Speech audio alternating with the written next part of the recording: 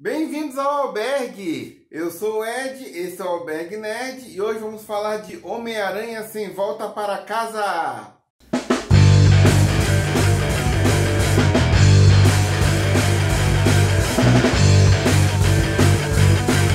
Albergue Nerd! Primeiro quero lembrar, se ainda não são inscritos no canal, para se inscreverem, ativem o sino das notificações para não perder nenhuma atualização do canal e claro, curtir e compartilhar esse vídeo. Depois de um bom tempo aí sem vídeo, estamos retomando as atividades no canal e não poderíamos voltar de forma melhor, falando de um dos filmes mais esperados do ano, Homem-Aranha Sem Volta para Casa, que tinha uma grande expectativa envolvida com a sua estreia por causa de todo mundo que estava voltando para o filme. Será que a expectativa foi alcançada? E esse terceiro filme não perde tempo e já começa lá em cima, retomando exatamente de onde o anterior parou, naquela impactante cena pós-créditos, onde Mistério, depois de morrer, deixa uma surpresinha bem desagradável. Um vídeo todo montado incriminando o Homem-Aranha pelo ataque dos drones em Londres e também revelando sua identidade verdadeira de Peter Parker para todo mundo, através do jornalista polêmico J. Jonah Jameson. E essa parte inicial do filme é muito boa, porque essa revelação realmente impacta muito a vida do Peter Parker e de todos aqueles ao seu redor, como a sua tia May, sua namorada MJ e o seu melhor amigo Ned Leeds. Toda aquela perseguição dos vizinhos, da mídia, o nome dele fica extremamente conhecido, ele começa a ser atacado, a casa dele vira alvo de pessoas fanáticas que acreditam que o mistério tinha razão. A polícia começa a investigar a vida de todos eles, tentando descobrir mais sobre o ataque de Londres, sobre as atividades supostamente criminosas que o Homem-Aranha tinha, quem eram seus cúmplices. Isso também gera piadas, né? O Ned começa a falar demais e, e se enrola um pouco a MJ já é mais firme, a tia May também teme que é, possa ter alguma complicação, já que o, policial sugere que ela tenha exposto um menor ao, ao perigo. Várias complicações que essa revelação de identidade traz. E essa parte traz um pouco da temática do filme anterior, sobre pós-verdade e como as fake news podem viralizar. Ninguém questiona em nenhum momento a possibilidade daquele vídeo ser fake não tem nenhuma análise em cima daquilo.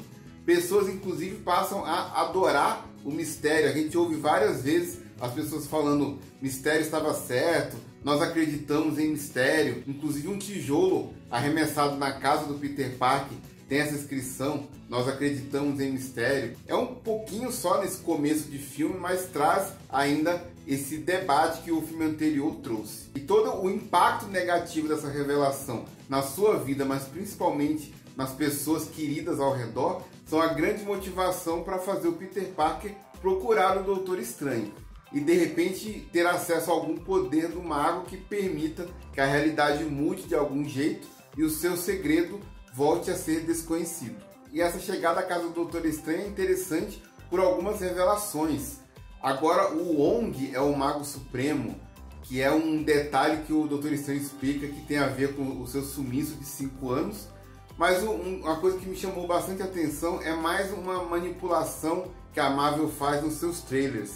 Já que no trailer o Wong fala para o Doutor Estranho não fazer nenhum feitiço. Já no filme em si, ele apenas diz que não quer se envolver, mas não chega categoricamente a proibir que o feitiço seja feito. O objetivo do feitiço, que era apagar a identidade do Peter Parker da mente de todos, não é um grande segredo, né? Tava bem presente nos trailers. E inclusive o erro desse feitiço é o grande motivador de toda a história. Aqui só vale lembrar que existia uma teoria aí na internet que o erro do feitiço poderia ser ocasionado por ele ser simultâneo aos eventos do final de Loki e WandaVision. Mas assistindo o filme eu tirei um pouco essa impressão porque parece muito específico as coisas que são ditas pelo Peter e os resultados que o feitiço traz. Então não sei se realmente tem conexão. Talvez uma coincidência das coisas acontecerem ao mesmo tempo, mas acho que os eventos das séries não influenciaram tanto assim no feitiço do Strange. E o erro no feitiço acaba trazendo para a realidade do Peter do MCU o quinteto sinistro o Duende Verde do William Defoe, vindo direto lá do primeiro Homem-Aranha do Tobey Maguire, o Dr. Octopus do Alfred Molina, que veio do Homem-Aranha 2, o Homem-Areia de Thomas Harden Church, que veio do Homem-Aranha 3, o Lagarto, interpretado pelo Rhys Evans, que veio lá do espetacular Homem-Aranha, e por fim o Electro de Jamie Foxx, que veio do espetacular Homem-Aranha 2. A chegada dos vilões dá um impacto muito grande em toda a audiência, vem aquele sentimento de nostalgia e todos eles são vilões bem interessantes, principalmente o Octopus e o Duende Verde. Eles chegam e roubam a cena.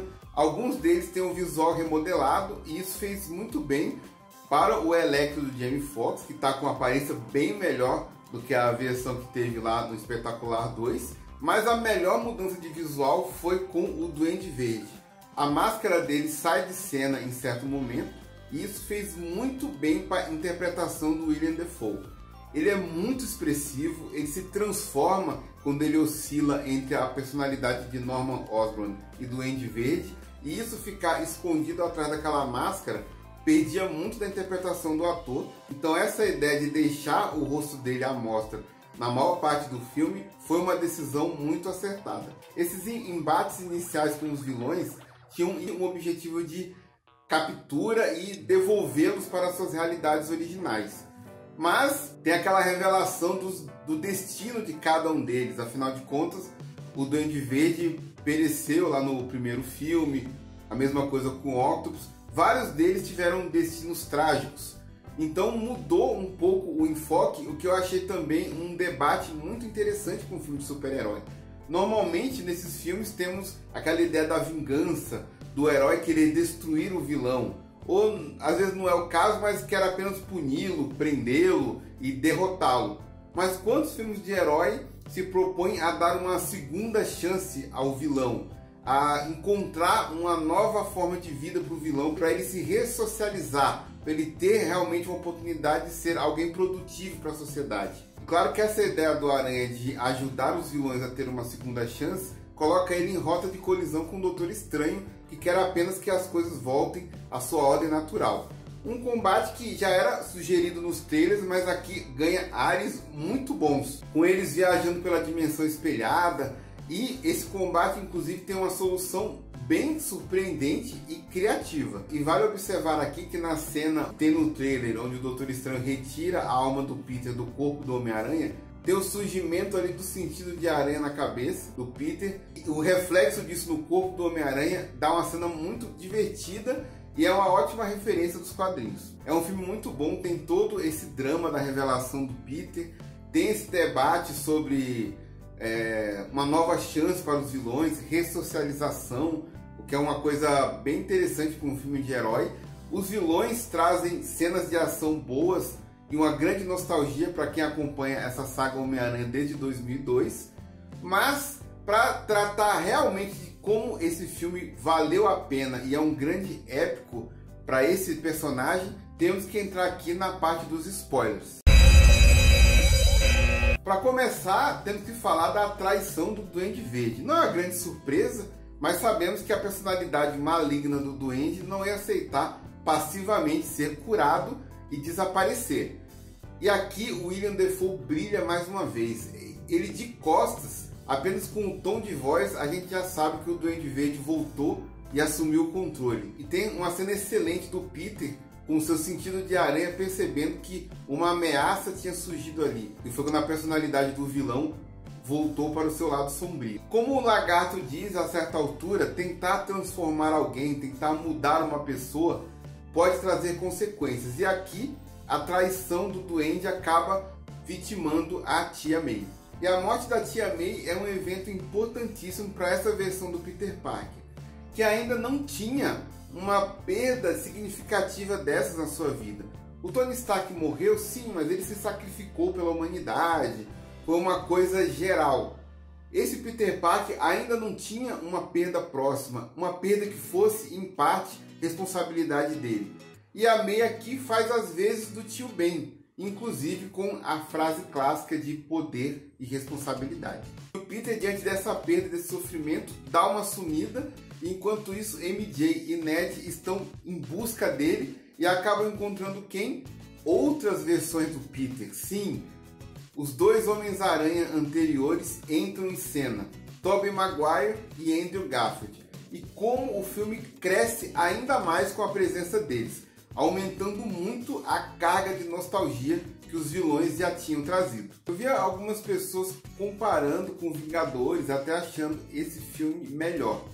Não é o meu caso, mas eu acho que, dadas as devidas proporções, aqui temos um Vingadores Ultimato, um pequeno Vingadores Ultimato do Homem-Aranha, já que ao trazer os aranhas anteriores, ele fecha uma pequena saga que começou com o primeiro filme lá de 2002. Por exemplo, temos um vislumbre de como está o Peter Parker do Tobey hoje em dia. Vemos que ele conseguiu se acertar com a Mary Jane, uma ponta ficou solta no último filme da saga dele. E como não se emocionar com a cena do Peter Parker do Andrew Garfield salvando a MJ de uma queda muito parecida com aquela que fez ele perder a sua Gwen. Um fechamento de ciclo muito bonito. E uma coisa importante, quando as duas versões anteriores do Homem-Aranha estão consolando a versão do MCU e falando sobre suas perdas e como eles tiveram que se reerguer e continuar lutando, os dois mencionam a perda de seus respectivos tios. Todos os dois tiveram um tio Ben. E o Peter Parker do Tom Holland nada fala nesse momento, o que tira uma dúvida que muitos fãs tinham. Essa versão do MCU nunca teve um tio Ben. A união dos três aranhas não tem o que falar. É muito bom ver que eles se tratam como irmãos. Me lembra até a relação que o Peter Parker tinha com o Ben Riley na época da saga do clone, aquela relação de cumplicidade, de irmandade, de estar ali um pro outro para se apoiar. Esses três aranhas têm isso. E além de todo esse companheirismo, temos ótimas cenas de ação com todos eles, eles agindo como uma equipe e rende, claro, excelentes piadas. Inclusive a clássica do meme do Aranha se apontando e fazem referência e piadas a muitas coisas dos filmes, brincam com a questão do Tobey ter teia orgânica e os outros não ter, dele ter brigado com alienígena, Tom Holland ter enfrentado Thanos, enquanto o Garfield não tinha nada disso. Mas aí o Toby aponta para ele e fala are amazing, are amazing. Isso é uma brincadeira com o título do filme que ele participou. Até mesmo a dor nas costas, naquela hora que tem aquela piada com o Tobey Maguire, é uma referência de um machucado real que o ator teve, que quase deixou ele de fora do Homem-Aranha 2. Então tem muita coisa que se aproveita dessa relação dos três aranhas. Drama, comédia e ação. Depois de uma sequência de ação muito boa na Estátua da Liberdade, que termina com a derrota do quinteto, ou melhor, com a cura de todos eles, uma oportunidade de uma nova chance. E tem momentos muito bons, como o reencontro do Electro com a versão Peter Parker do Andrew Garfield, o reencontro do Dr. Octopus com o seu pupilo Peter Parker e a satisfação dele ao vê-lo crescido e um homem adulto. Mas aí temos o problema do Doutor Estranho estar diante do feitiço descontrolado com a realidade rachando e várias pessoas de várias realidades indo para aquela. Aqui eu tenho que fazer uma ponte que eles perderam a oportunidade naquelas rachaduras brincar bastante com essa questão do Aranha Verso. Podia mostrar várias versões do Aranha, Aranha Noir, de repente o Miles Morales, até aquele Homem-Aranha japonês com seu robô gigante. Eles poderiam ter pirado um pouco nas referências, mas acabaram não fazendo nenhuma. A gente pode tentar identificar uma silhueta ali, mas nada muito concreto. Mas voltando para o feitiço descontrolado, qual seria a solução então? O Peter dá a ideia: o mago deveria fazer o mundo todo esquecê-lo. Um feitiço muito pior do que aquele que seria lançado originalmente. Antes todo mundo ia esquecer apenas que o Homem-Aranha era o Peter Parker. Agora todo mundo ia esquecer o Peter Parker. Seria como se ele não tivesse existido. Porém, é um sacrifício que é a cara desse personagem. Quantas vezes já vimos Peter Parker fazendo um alto sacrifício em prol de um bem maior? Um exemplo bem recente no jogo do PS4, quem jogou vai lembrar do final, a escolha quase impossível que o Peter Parker tem que fazer para salvar a cidade. Então, sacrifício e Homem-Aranha são quase sinônimos. Todos os vilões então voltam para seus lares e os dois Homens-Aranhas aliados também voltam. Aqui vale mencionar um errinho que eu peguei ao rever. O Electro, no reencontro dele com o seu Homem-Aranha, ele comenta que o Peter é um cara bonitão. Ao vê-lo ajudar tantas pessoas necessitadas, ele tinha certeza que o Homem-Aranha era negro. E até tem aquela piadinha barra referência que ele fala que deve ter um Homem-Aranha negro por aí, obviamente uma referência ao Miles Morales. Mas aí me veio a dúvida: o feitiço deveria trazer apenas pessoas que sabiam a identidade do Homem-Aranha. Se o Electro não sabia que o Peter Parker era negro, ele realmente sabia a identidade do herói? Foi um furo aí do vilão elétrico ter vindo? Falando em saber a identidade, temos que observar uma coisa aqui sobre o Dr. Octopus. Quando ele vê o Duende Verde chegando, ele o chama de Osborn. Mas lembrando da trilogia do Tobey Maguire, a identidade do Norman nunca foi exposta como Duende Verde. Ele pede pro Peter não contar pro Harry quando ele está morrendo. E o Homem-Aranha então tira o seu uniforme e leva o corpo para a mansão Osborn, mas não foi revelada nenhuma identidade dele como vilão. Não tinha como o Dr. Octopus saber que o Duende Verde era o Norman Osborn baseado nos filmes originais da trilogia do Tobey Maguire. Assim como o próprio Homem-Areia não deveria saber da informação que o Duende morreu empalado pelo próprio planador, por exemplo. Ele deveria saber apenas do sacrifício que o Octopus fez para parar a sua máquina. Aí a gente pode interpretar que é um furo? Não necessariamente. Talvez esses personagens tenham vindo apenas de realidades diferentes. Esse Octopus pode ter vindo de uma realidade onde a identidade do Norman foi exposta como Duende Verde. A mesma coisa o Homem-Aranha que veio de uma realidade onde todo mundo ficou sabendo que o Duende morreu empalado no próprio planador. Então não chega a ser exatamente um furo, mas entra em desacordo com os filmes originais, sugerindo aí uma outra realidade. E falando em identidade secreta, temos alguém muito conhecido dos fãs que fez o cinema ir abaixo quando aparece, que é o advogado de Peter Parker, ninguém menos que Matt Murdock, interpretado pelo Charlie Cox novamente, o ator que deu vida ao herói cego da Cozinha do Inferno durante três temporadas de Demolidor e uma de Defensores da Netflix, foi resgatado para o MCU. Ainda não sabemos como ele vai ser utilizado, se os acontecimentos da série da Netflix vão ser levados em consideração ou não, mas temos aí de volta Matt Murdock e aí o filme acaba com o Peter Parker totalmente sozinho no mundo, numa situação completamente nova. Eu devo confessar que esperei vários filmes do Tom Holland para esse momento finalmente acontecer. Peter Parker sem mamata de tecnologia Stark, sem suporte do rap para ajudar quando ele está perdido em outro país para ir buscá-lo de jatinho. Agora é Homem-Aranha tendo que costurar o seu uniforme na máquina e sem suporte nenhum, lutando para pagar o aluguel no fim do mês, e como o senhorio falou, não pode atrasar. E temos uma página totalmente em branco para ser aproveitada em novos filmes. O personagem pode ter novos amigos, novas situações. Temos um simbionte agora nesse mundo do Peter Parker como vimos na primeira cena pós-créditos, o Ed Brock deu uma pequena participação especial, bêbado, tendo aquela sua, aquele humor meio distoante, que eu pelo menos achei que não combina muito com o clima dos filmes do, do desse universo da Marvel Studios. Mas ele rapidamente desapareceu, só que deixou um presentinho para trás. Vamos ver se esse simbionte dá o ar da graça em algum filme do Tom Holland futuramente. A segunda cena pós-créditos enganou muita gente que estava esperando vir uma cena ou até mesmo uma piadinha, mas não tivemos nenhuma cena nem uma piada. Tivemos o primeiro trailer de Doutor Estranho no Multiverso da Loucura. Nesse momento ele já está liberado aí na internet, então quem não viu o filme do Homem-Aranha pode ver o trailer à vontade, que ele já está divulgado aí. Um trailer com muitas cenas interessantes a participação que já estava confirmada da Feiticeira Escarlate. E tive uma grande surpresa no trailer que foi descobrir que o Orif, que eu achei que seria apenas uma piada é, divertida do, do universo Marvel, é canon e tem uma coisa muito relevante que aconteceu na série animada que estará presente em Doutor Estranho no Multiverso da Loucura. Quem assistiu o Orif vai saber do que eu estou falando. Quem não assistiu, fica aí a recomendação de curtir essa animação da Marvel que é mais descompromissada, mas vemos que tem lá um pouquinho de pé no que vai acontecer nos filmes. Esse filme acabou superando as minhas expectativas. Esse Peter Parker do Tom Holland, eu sempre tive algumas reservas com ele, um bom ator, mas o personagem acabava sendo muito sidekick. Primeiro do Tony Stark, do Mistério ele também foi um pouco e ali tinha a sombra do Tony Stark o tempo inteiro. Quando foi anunciado que o Doutor Estranho estaria nesse filme, eu tinha certeza que ia acontecer novamente, mas para minha surpresa, não.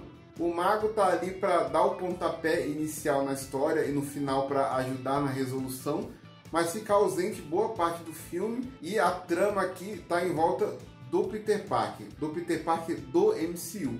Os dois retornam, agem como um suporte emocional, o ajudam, mas a trama principal é do Peter do MCU. A perda que tem aqui é dele, o sacrifício final é dele e a transformação toda é desse personagem. Então eu acabei gostando bastante por tudo isso.